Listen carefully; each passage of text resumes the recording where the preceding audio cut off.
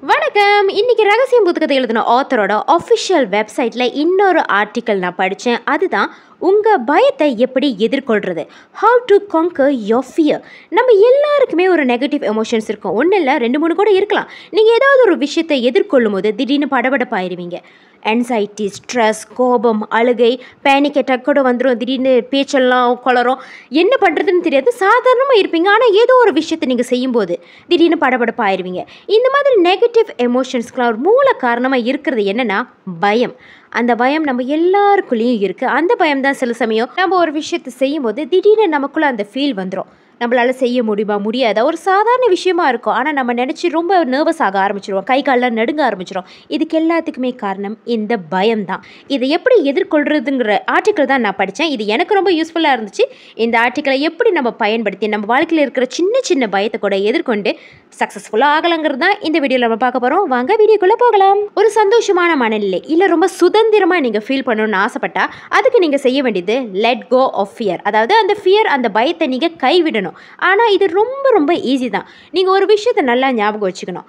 நம்ம சந்தோஷமாக இருக்கும்போது எப்படி சந்தோஷமான விஷயங்களை அடுத்தடுத்து நம்ம அட்ராக்ட் பண்ணிக்கிட்டு இருக்கோமோ அதே மாதிரி நீங்கள் ஒரு பயந்த ஒரு மனநிலையில் இருக்கும்பொழுது அடுத்தடுத்து நீங்கள் பயப்படுற மாதிரி நிறைய விஷயங்களை தான் நீங்கள் அட்ராக்ட் பண்ணுவீங்க. அதுலேருந்து நீங்கள் தப்பிக்கணும். அதுலேருந்து நீங்கள் மீண்டு வரணும்னா உங்கள் மனநிலையை ஒரு சந்தோஷமான மனநிலைக்கு மாறும்போது அந்த பயம் தானாகவே உங்களை விட்டு போயிடும். நீங்கள் ஒருவேளை எல்லா விஷயத்தையும் நினச்சி பயப்படுறவராக இருந்தால் ஒருவேளை திடீர்னு உடம்பு சரியில்லாமல் போயிடுமோ திடீர்னு எனக்கு வேலை போயிடுமோ வீட்டில் நிறைய செலவு இருக்குது என்னால் சமாளிக்க முடியாமல் போயிடுமோ? அப்படி சின்ன சின்ன விஷயத்துக்கு நீங்கள் பயப்படுற ஒருத்தராக இருந்தால் இல்லை உங்கள் சுற்றி இருக்கிறவங்க யாராவது இதை செய்கிறவங்களாக இருந்தால் பை லா ஆஃப் அட்ராக்ஷன் அதாவது ஈர்ப்பு விதி மூலமாக அவங்களுடைய வாழ்க்கையில் இல்லை உங்களோட வாழ்க்கையிலே அடுத்தடுத்து நீங்கள் நிறைய தப்பான விஷயங்களை அட்ராக்ட் பண்ணிட்டு இருப்பீங்க இதை நீங்கள் நோட்டீஸ் பண்ணியிருப்பீங்களான்னு தெரியல.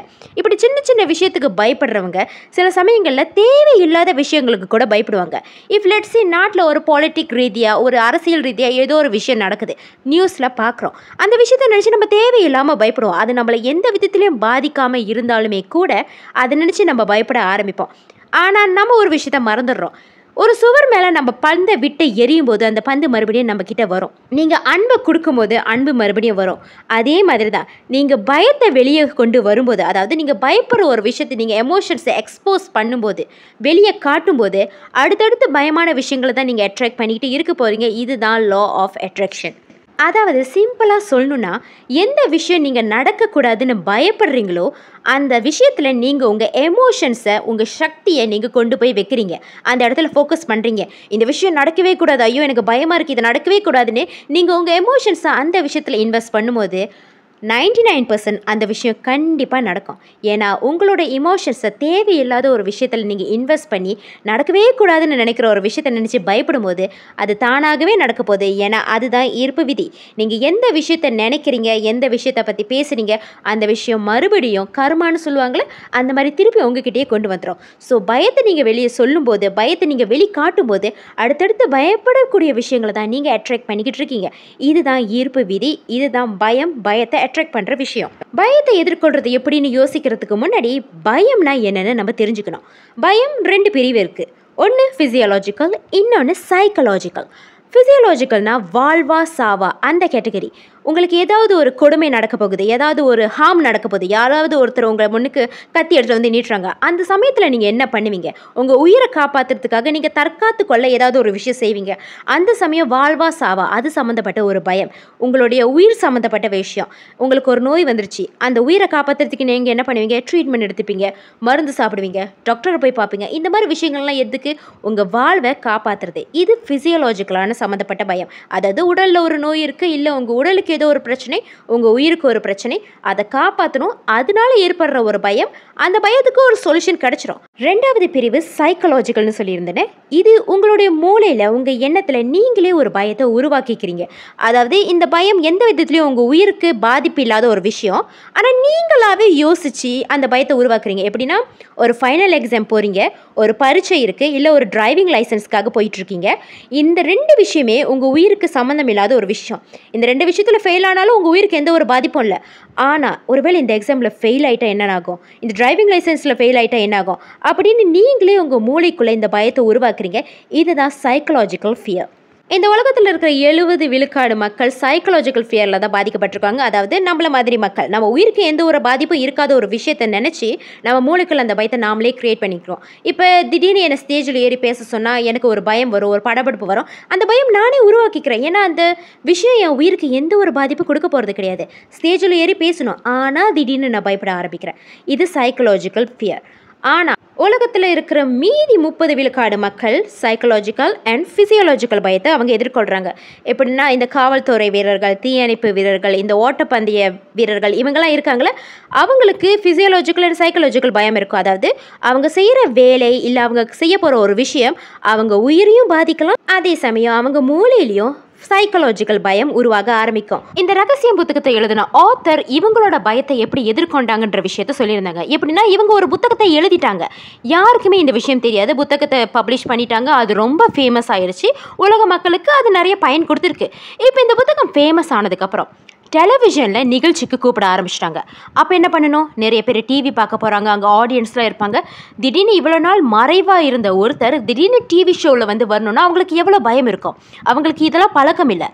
ஆனால் இவங்க இதில் கற்பனை சக்தி மூலமாக அவங்களோட பயத்தை எதிர்கொண்டாங்க. அந்த டிவி ஷோவில் இருக்கிற அந்த ஆங்கர் இவங்க பேரை கூப்பிடுறதுக்கு முன்னாடி பேக் ஸ்டேஜில் இருக்கும்போது அவங்க கற்பனை சக்தி மூலமாக நிறைய விஷயங்களை அவங்க கற்பனை பண்ணாங்க. என்ன பண்ணாங்கன்னா இந்த ஸ்டேஜில் இப்போ நான் போக போகிறேன் நிறைய ஆடியன்ஸ் என்னை பார்க்க போகிறாங்க அவங்க எல்லாருமே எனக்கு வாழ்த்து சொல்ல போகிறாங்க அந்த ஆங்கர் கேட்குற ஒவ்வொரு கேள்விக்கும் நான் நல்ல பதில் சொல்ல போகிறேன் எனக்கு அவங்கள யாரை பார்த்துமே பயம் இல்லை. நான் ரொம்ப சந்தோஷமாக பதில் சொன்னேன். அதுக்கப்புறம் அந்த நிகழ்ச்சியும் முடிவடைஞ்சிச்சு. நான் வீட்டுக்கு வந்துட்டேன்.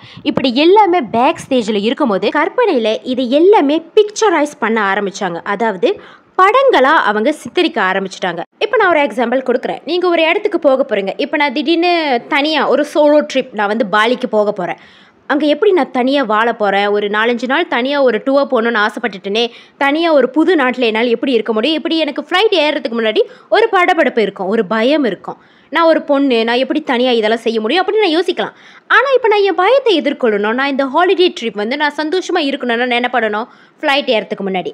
என்னோட கற்பனையில் நான் பாலியில் சந்தோஷமாக இறங்குற மாதிரி அதாவது சேஃபாக இறங்குற மாதிரி அங்கே இருக்கிற எல்லா இடங்களுக்குமே நான் சுற்றி பார்க்குற மாதிரி எனக்கு பிடிச்ச சாப்பாடெல்லாம் சாப்பிட்ற மாதிரி நிறைய நல்ல மக்களை நான் சந்திக்கிற மாதிரி இங்கே நான் மலேசியாவில் இருக்கும்போதே ஃப்ளைட் ஏறுறதுக்கு முன்னாடியே இது எல்லாமே நான் என் கற்பனையில் வாழ ஆரம்பிக்கணும். அதாவது அந்த இடங்களெல்லாம் நான் சுற்றி பார்க்குற மாதிரி நிறைய மக்கள்கிட்ட பேசுகிற மாதிரி நான் காட்சிப்படுத்தணும். இது எல்லாத்தையும் செய்யும்போது அடுத்து என்ன நடக்க போகுது? நான் ஃப்ளைட்டில் ஏற போகிறேன் பாலிக்கு போக போகிறேன் பாலியில் சுற்றி பார்க்க போகிறேன் ஆட்டோமேட்டிக்காகவே எனக்குள்ளே இருக்கிற பயம் அப்படியே குறைஞ்சி போயிடும் ஏன்னா என்னோட கற்பனை சக்தி மூலமாகவே நான் அந்த பயத்தை எதிர்கொண்டுட்டேன். நான் வென்றுட்டேன். ஸோ இப்போ சீரியஸாக அந்த டெக்னிக்குள்ளே போகலாம். ஒரு விஷயத்தை நீங்கள் செய்ய போகிறீங்கன்னா அதுக்கு முன்னாடியே அந்த விஷயம் எப்படி நடக்க போகுதுன்னு நீங்கள் கற்பனை பண்ணணும். ஒரு கான்ஃபரன்ஸ் போகிறீங்க ஒரு ஐம்பது பேர் முன்னாடி நீங்கள் ஒரு ஸ்பீச் கொடுக்கணும். அப்படின்னா ஸ்டேஜ் ஏறத்துக்கு முன்னாடியே நீங்கள் கற்பனை செய்ய ஆரம்பிங்க. இந்த நாள் இந்த ஸ்பீச் எவ்வளோ அழகாக போகணும்? நீங்கள் கேட்குற கேள்விக்கெல்லாம் அழகாக பதில் சொல்ல போகிறீங்க நீங்கள் நல்லா பேச போகிறீங்க உங்களுக்கு யாரை பார்த்துமே பயம் இல்லை. எல்லாருடைய கண்களும் உங்கள் மேலே இருந்தாலுமே கூட உங்களுக்கு எந்த பயமும் இல்லைன்னு கற்பனை பண்ணி அந்த நாள் அந்த ஸ்பீச் எல்லாமே எப்படி போகணும்னு நீங்களே முடிவு பண்ணுங்கள் உங்கள் மைண்டை அதுக்காக ப்ரிப்பேர் பண்ணுங்கள் அதுக்கப்புறம் ஸ்டேஜ் மேலே ஏறும்போது நீங்கள் என்ன யோசிச்சிங்களோ அதுதான் நடக்க போகுது. ஏன்னா உங்கள் பயம் இப்போ குறைஞ்சி நீங்கள் ரியலாக ரொம்ப காமாக இதை எதிர்கொள்ள போகிறீங்க ஸோ பயத்தை ஒரேடியாக போக்கணுன்ற அவசியம் இல்லை. ஆனால் குறைக்க முடியும். எப்படின்னா உங்களுக்கு ஒரு விஷயம் நடக்க போகுது. ஒரு விஷயம் செய்ய போகிறீங்க அப்படின்னா அதுக்கு முன்னாடி அந்த விஷயம் எப்படியெல்லாம் போகணும் எப்படியெல்லாம் முடிவடையணும் அப்படின்னு நீங்கள் கற்பனை பண்ணீங்கன்னா உங்கள் பயம் கொஞ்சம் கொஞ்சம் கொஞ்சமாக குறைய ஆரம்பிக்கும். இந்த டெக்னிக் ஒருவேளை உங்களுக்கு ஒர்க் அவுட் ஆகலைன்னா இன்னொன்று நீங்கள் செய்யலாம். என்னென்னா உங்களுக்கு பிடிச்ச விஷயம் நீங்கள் காதலிக்கிற விஷயம் நீங்கள் நன்றியோட ஃபீல் பண்ணுற விஷயம் ஏதாவது ஒன்று ஒரு அறுபது வினாடிக்குள்ளார யோசிக்க பாருங்க. நீங்கள் பயமாக இருக்கீங்க படபடப்பாக இருக்கீங்க கை கால்லாம் நடுங்குது. டக்குன்னு உங்களுக்கு பிடிச்ச ஒரு நபர் பிடிச்ச ஒரு விஷயம் நீங்கள் நேசிக்கிற ஒரு விஷயம் யோசிக்க பாருங்க. ஒரு அறுபது வினாடிக்கு அது போகும். அதுக்கப்புறம் பாருங்க அந்த பயமெல்லாம் குறைஞ்சி நீங்கள் படபடப்பெல்லாம் நீங்கி நீங்கள் நார்மலாக ஆரம்பிச்சிருவீங்க. ஸோ ஃபர்ஸ்ட் டெக்னிக் எதெல்லாம் நடக்க போதோ அதுக்கு முன்னாடி நம்ம யோசிக்கணும் எப்படியெல்லாம் நடக்கணும்னு. ரெண்டாவது டெக்னிக் உங்களுக்கு பிடிச்ச விஷயம் உங்கள் மனசுக்கு ரொம்ப ரொம்ப காம்னஸ் கொடுக்கக்கூடிய ஒரு விஷயம் சந்தோஷத்தை கொடுக்கக்கூடிய விஷயம் அதை யோசிங்க. ஒரு நிமிஷம் போதும். அதுக்கப்புறம் நீங்கள் ரொம்ப காமாக ஆரம்பிச்சிருவீங்க. அந்த பயம் உங்களை விட்டு போயிடும். ஒருவேளை பிடிச்ச விஷயம் உங்களுக்கு டக்குன்னு ஞாபகம் இல்லை. நீங்கள் நன்றியோட ஃபீல் பண்ணுற விஷயத்தை பற்றி யோசிச்சு பாருங்கள் ஒரு பத்து விஷயமாவது உங்கள் வாழ்க்கையில் நீங்கள் நன்றி தேங்க்யூன்னு சொல்கிறதுக்கு நிறைய விஷயங்கள் இருக்கும். அது எல்லாமே டக்கு டக்குன்னு யோசிக்கும் போது ஒரு டெம்பரரி சொல்யூஷனாக அந்த பயம் உங்களுக்கு குறைய ஆரம்பிக்கும். நீங்கள் பேக் டு நார்மல் வந்துடுவீங்க பட் இந்த மாதிரி டெக்னிக்ஸ்க்கெல்லாம் ரொம்ப டெம்பரவரி தான். உங்களை விட்டு அந்த பயம் ஒரேடியாக போயிடும்னு சொல்ல முடியாது. ஆனால் அந்தந்த சுச்சுவேஷனை உங்களுக்கு சமாளிக்கிறதுக்கு இந்த டெக்னிக்ஸ் டெக்னிக்ஸ்லாம் உதவும். ஆனால் எனக்கு நீண்ட காலத்துக்கு இந்த பயமே இருக்கக்கூடாது. அப்படின்னா அதுக்கு ஒரு டெக்னிக் இருக்குது அது என்னென்னா இந்த வீடியோ முழுக்குமே நான் பயத்தை எப்படி எதிர்கொள்ளணும்னு தான் சொல்லியிருப்பேனே தவிர பயத்தை எப்படி தவிர்க்கணும்னு நான் சொல்லியிருக்கவே மாட்டேன். ஏன்னா நம்ம ஒரு விஷயம் நடக்கவே கூடாது. அது நம்ம பக்கமே வரக்கூடாதுன்னு நினைக்கும் போது தான் அது நம்ம பக்கம் வரும். எது நடக்கக்கூடாதுன்னு நினைக்கிறோமோ அதுதான் நடக்கும். நம்ம எதை பார்த்து பயப்படக்கூடாதுன்னு நினைப்போமோ அதை பார்த்து தான் பயப்படுவோம். ஸோ நீங்கள் எந்த அளவுக்கு அதை தவிர்க்கணும் அதை விட்டு ஓடணும் அப்படின்னு ஒரு விஷயத்தை நினைக்கும் போது அது உங்கள் பக்கத்தில் வந்துக்கிட்டே தான் இருக்கணும். அதனால தான் அதை நீங்கள் எதிர்க்கணும். பயமும் ஒரு எனர்ஜி தான். அது ஒரு சக்தி. அதை நம்ம வேணாம் அதை தவிர்க்கணும். அதை விட்டு ஓடணும்னு நினைக்கும் போது நம்மள அறியாமையே நம்ம அதை பற்றி பேச ஆரம்பிப்போம் யோசிக்க ஆரம்பிப்போம். அதுக்கு நம்ம இன்னும் சக்தியை கொடுக்குறோம். ஸோ இந்த பயத்தை தவிர்க்கணும்னு நினைக்கும் போது தான் உங்களுக்கு இந்த ப்ரெஷர் இன்னும் அதிகமாகிக்கிட்டே இருக்கும். இன்னும் படபடப்பாக ஆக ஆரம்பிப்பீங்க. திடீர்னு அழ ஆரம்பிப்பீங்க. கோபப்படுவீங்க. ஸோ அதை தவிர்க்கணும்னு நினைக்காம அதை நம்ம எதிர்கொண்டுடலாம். ஸோ இந்த சீக்ரெட் புத்தகத்தை எழுதின ஆத்தர் என்ன சொல்லியிருக்காங்கன்னா அந்த பயத்தை நம்ம டிசால்வ் பண்ணிக்கலாம். எப்படின்னா நீங்கள் ஒரு விஷயத்தை நினச்சி பயப்படுறீங்கன்னா அந்த விஷயத்துக்கு ஒரு உருவத்தை கொடுங்க. நீங்கள் நேசிக்கிற ஒரு நபராக அவங்கள நினச்சிக்கோங்க. அவங்கள உங்கள் பக்கத்தில் கொண்டு வாங்க. அவங்கள கட்டி பிடிச்சிக்குங்க.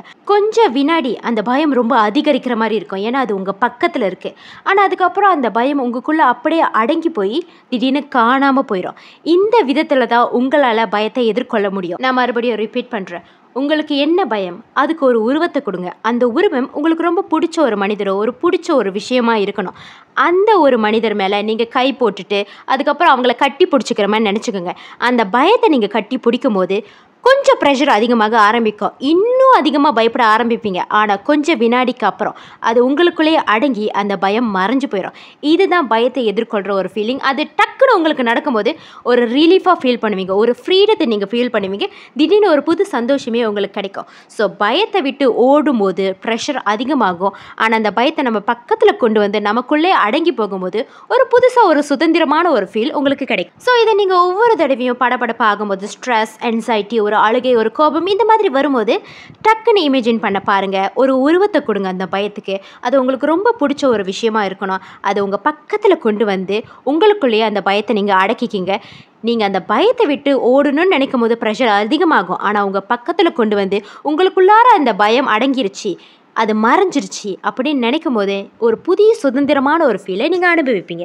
ஸோ இந்த ரகசியம் புத்தகம் எழுதுன ஆத்தர் அவங்க ஆர்டிக்கலை ஃபினிஷ் பண்ணும்போது என்ன சொல்லியிருந்தாங்கன்னா தேவையில்லாத விஷயத்துக்கு உங்கள் பயத்தை நீங்கள் கொண்டு போகாதீங்க. இந்த உலகத்தில் கோவிட்னு ஒன்று வந்துச்சு. அந்த கோவிட்டை தாண்டி தான் இப்போ எத்தனையோ மனிதர்கள் உயிரோடு வாழ்ந்துகிட்டு இருக்கோம். இரண்டாம் உலக போர் நடந்துச்சு. அதையும் தாண்டி எத்தனையோ பேர் வாழ்ந்தாங்க. எவ்வளையோ கஷ்டங்களை அனுபவிச்சு இன்னுமே கூட நிறைய மனிதர்கள் வாழ்ந்துட்டுருக்காங்க பயம் கொஞ்ச நேரம் இருக்கும். அதுக்கப்புறம் நீங்கள் மறுபடியும் சிரிக்க ஆரம்பிப்பீங்க. மறுபடியும் ஒரு சந்தோஷமான வாழ்க்கைக்கு உங்களால் வாழ முடியும். ஸோ அந்த பயம்னு இருக்கும்போது தேவையில்லாத விஷயத்தில் உங்கள் மைண்டில் நீங்களே பயத்தை உருவாக்காதீங்க. நல்ல விஷயத்தில் உங்கள் எமோஷன்ஸை நீங்கள் கொண்டு போங்க. எந்த பிரச்சனை நடந்தாலுமே இதுவும் கடந்து போகும்.